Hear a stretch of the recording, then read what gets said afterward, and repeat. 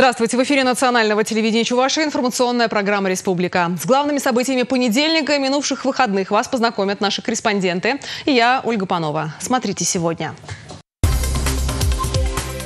Об этике и противодействии коррупции глава Чувашии подписал два указа. Навстречу Великой Победе Чувашия готовится к 9 мая. Временное безрыбье в Чувашии на период нереста запрещена рыбалка.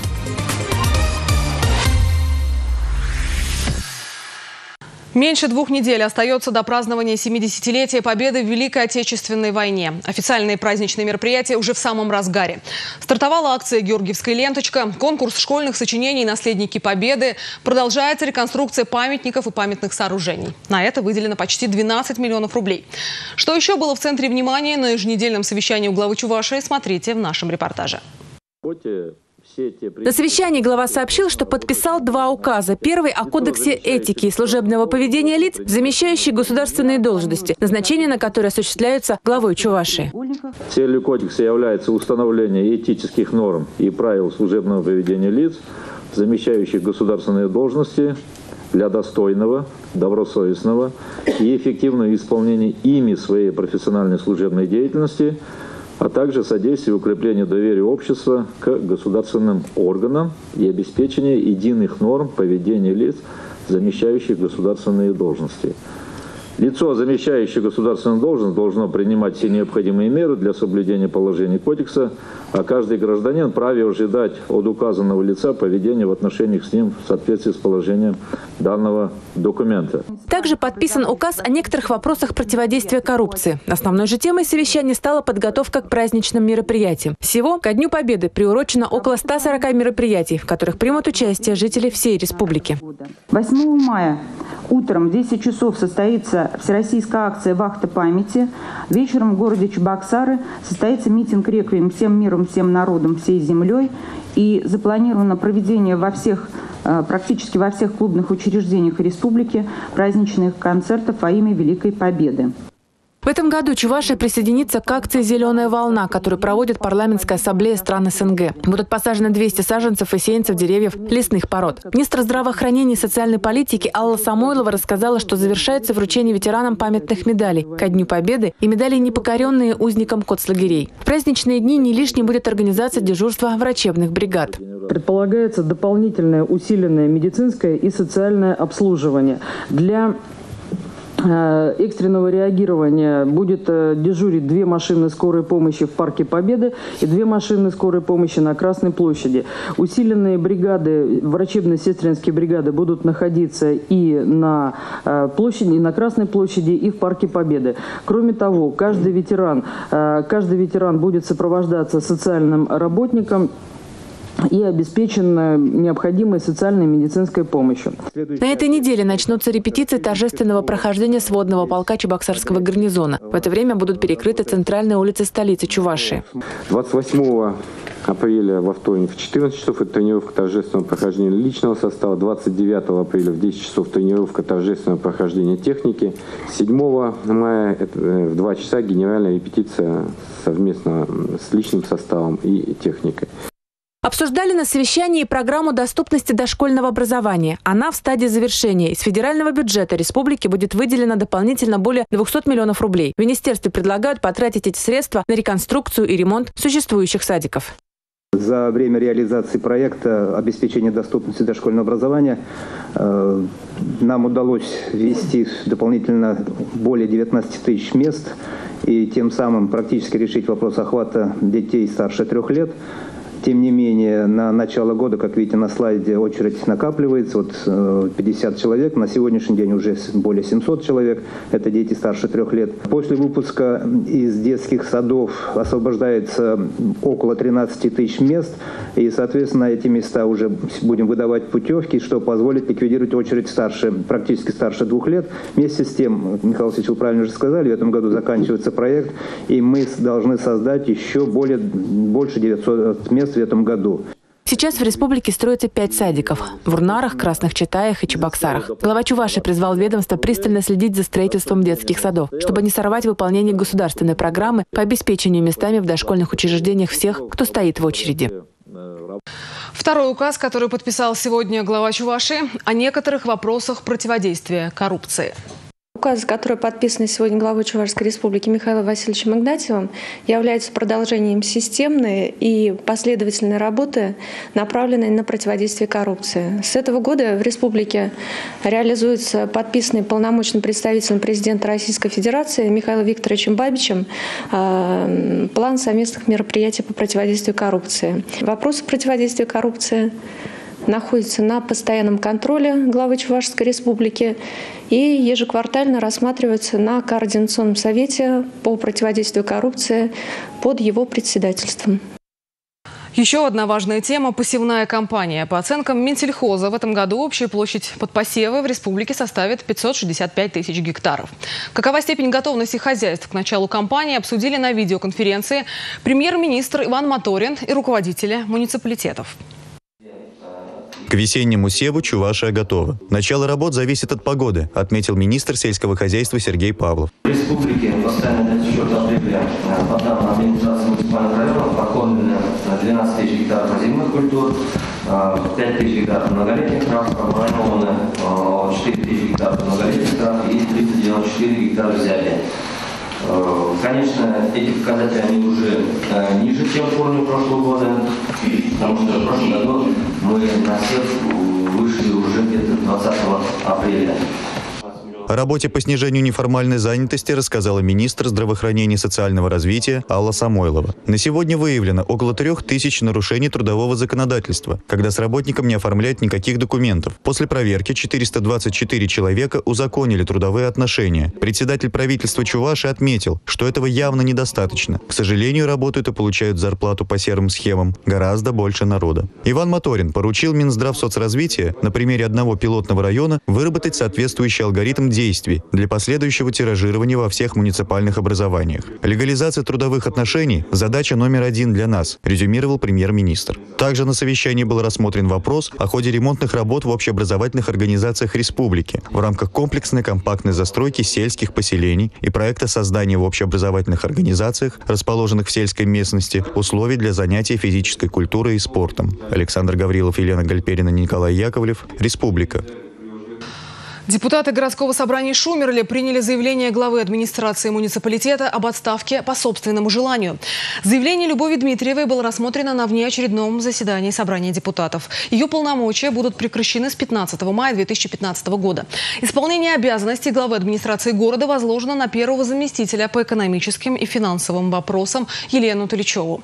Депутаты также рассмотрели вопрос о создании комиссии для проведения конкурса на замещение должности главы администрации. Глава Чувашии взял под контроль реализацию инвестиционных проектов республики. Теперь Михаил Игнатьев будет принимать личное участие в обсуждении проблемных вопросов в этой области. Сегодня состоялось первое совещание, на котором обсудили перспективы расширения производственных площадей компании «Чета». Планом предусмотрено возведение двух корпусов для создания электротехнического оборудования по программе импортозамещения. Новое производство должно привлечь порядка 140 миллионов рублей инвестиций. На предприятии появится около 70 новых рабочих мест. Для реализации проекта потребуется дополнительный земельный участок в 2400 квадратных метра. Руководство ЧЕТа обратилось к администрации Чебоксар с просьбой предоставить его в аренду еще в январе. Однако решение этого вопроса затянулось. С учетом того, что у вас был, смотрел, на, на самом деле честно работаете, вопросов нет, благодарю вас за эту работу, должны, э, в общем, э, очень грамотно подойти и решить, разрешить все те вопросы, которые у вас возникли. Вот самое главное. Михаил Игнатьев также отметил, что в республике должны быть обеспечены все условия для реализации инвестпроектов. По результатам совещания вопрос о выделении земельного участка компании «Чета» будет решен в течение 5-6 недель. Анастасия Алексеева, Сергей Рябчиков, Республика. Делегация Чувашии накануне вернулась из Санкт-Петербурга. В этом году северная столица России принимала у себя научно-практическую конференцию и выставку «Релейная защита и автоматизация электроэнергетических систем России» под общим названием «Релав Экспо». Этот форум зародился три года назад в Чебоксарах. О результатах и достижениях Релав Экспо-2015 смотрите в программе «Экономика в деталях». Сегодня в 21 час в эфире национального телевидения Чувашии.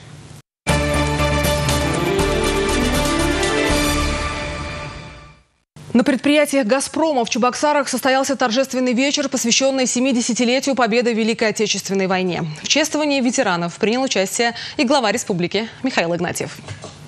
9 мая – самый дорогой праздник в российском календаре. И неудивительно, что в канун такой важной даты люди вновь и вновь говорят слова благодарности выжившим, вспоминают павших и заклинают будущие поколения беречь мир. Особенно актуально это сегодня, когда некоторые политические деятели пытаются откреститься от общей победы, очернить истинных героев и возвеличить предателей. Но такие попытки обречены. Слишком многое связывает народы бывшей огромной страны, в том числе и уважение к памяти павших. Глава Чуваши Михаил Игнатьев рассказал, как в Беларуси, где он недавно побывал с визитом, чтут героев. Наши уроженцы Чувашской республики вписаны в этом музее в списке тех героев, которые погибли во время Великой Отечественной войны, уже защищая на территории Беларуси. А всего погибших, если мы возьмем по республике 108 тысяч, более 108 тысяч, из 200 призванных, то в Белоруссии практически сложили головы около 15 тысяч уроженцев Чувашской республики. Огромное количество людей.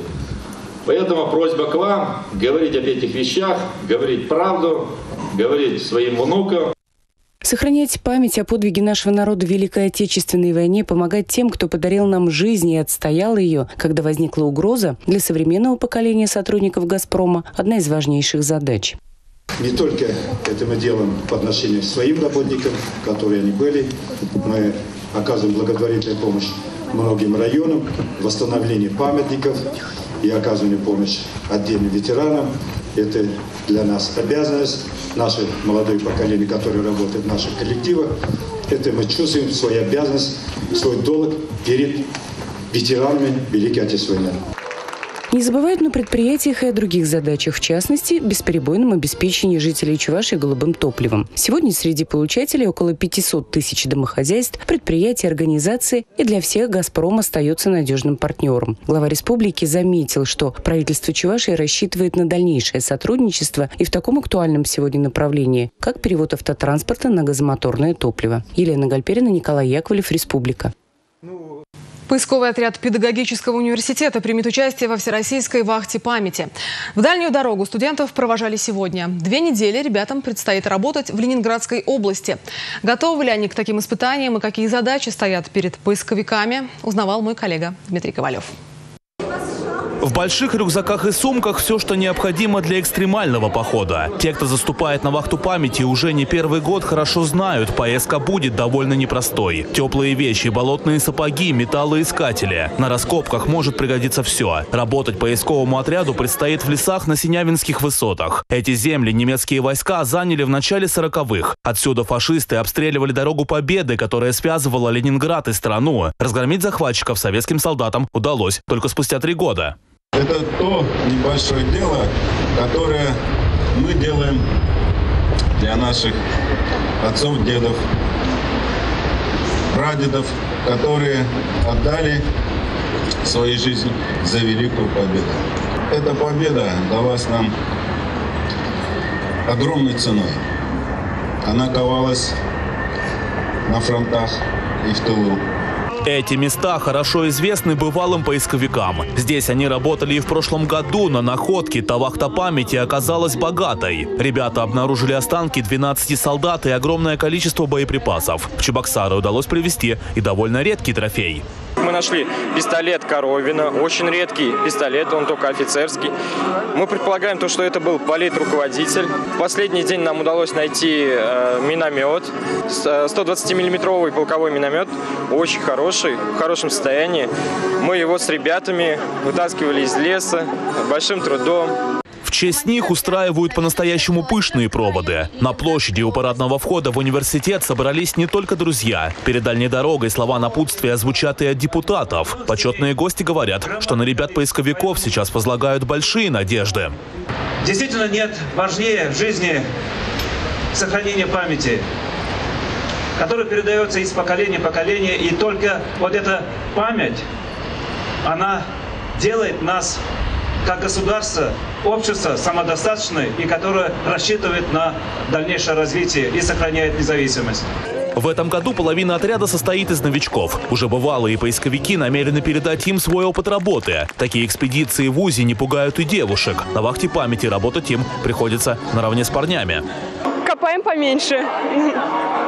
А так э, все наравне, готовим больше. Любого человека, хоть для, не знаю, хоть для девушки, хоть для парня, поучаствовать в такой экспедиции, это э, ну, очень много значит. Во-первых, у меня прадеды участвовали в войне, и поэтому вот как-то приблизиться к этому, это всегда почетно. Вахта памяти завершится только 7 мая. Свои трофеи ребята обещают привезти в Чебоксары, чтобы выставить их в музее вуза. Дмитрий Ковалев и Андрей Шоклев. Республика.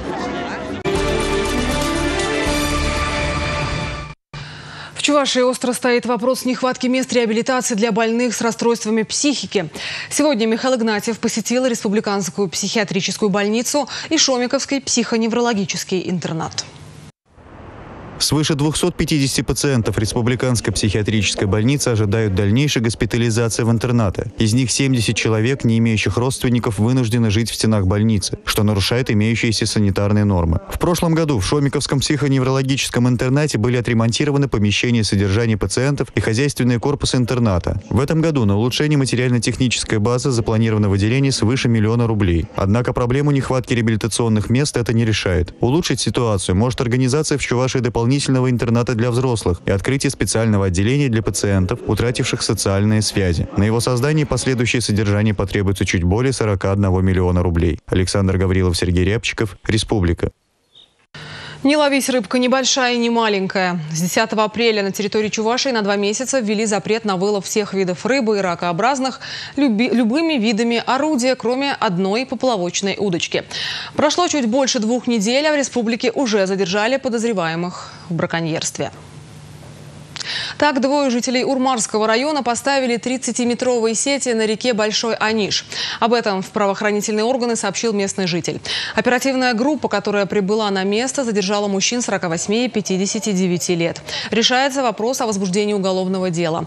Нарушителям грозит штраф от 500 до 100 тысяч рублей или даже до двух лет лишения свободы. На 10 дней в столице Чувашии перекроют для проезда автотранспорта Марпасадское шоссе. Ограничения ведут с 1 по 10 мая для всех видов транспорта, за исключением троллейбусов на участке от пересечения с проездом машиностроителей до пересечения с хозяйственным проездом. На такие меры столичная администрация пошла в связи с работами по перекладке подземных коммуникаций. Объезжать указанный участок можно по существующей улично-дорожной сети. Проезд машиностроителей, улица Ленинского комсомола, Эгерский бульвар, проспект Мира.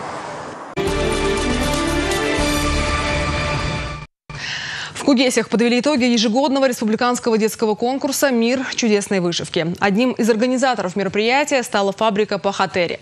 Чем удивили конкурсанты членов жюри, узнаем в следующем материале. Конкурс объединил юные таланты со всей Чувашии. Сюда приехали будущие мастера чувашской вышивки, потенциальные художники, писатели и поэты. В конкурсе участвовало почти 100 ребят, но строгое жюри отобрали лишь 29 победителей. Арина Самойлова занимается вышивкой уже несколько лет. В основном вышивает картины и полотенца. Я была очень рада, то, что даже руководитель радовался. Не знаю, это были неописуемые эмоции. Я очень люблю чувашскую вышивку, она очень красивая, показывает характер человека. И этим я показываю, какой великий чувашский народ.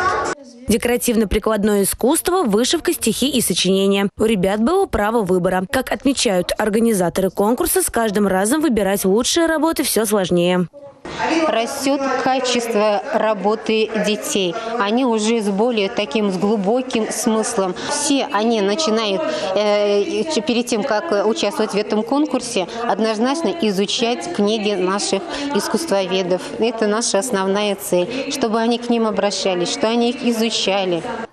Конкурс проводится уже шестой раз. В этом году он был посвящен мастерам по вышивке Екатерине Ефремовой и Марии Симаковой. В разное время они работали на фабрике Пахатери и создавали одежду в национальном стиле.